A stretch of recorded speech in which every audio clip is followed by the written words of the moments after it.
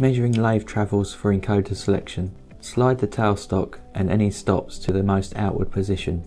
Traverse the saddle to its maximum travel towards the chuck. Draw a line along the edge of the carriage on the bed.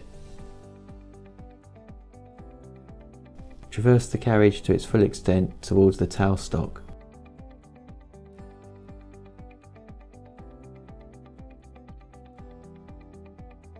Measure between the mark and the edge of the carriage. This will give you the carriage travel. Traverse the cross slide to its most outward position.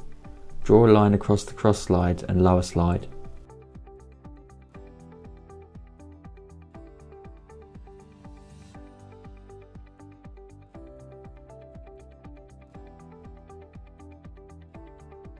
Traverse the cross slide to its most inward position.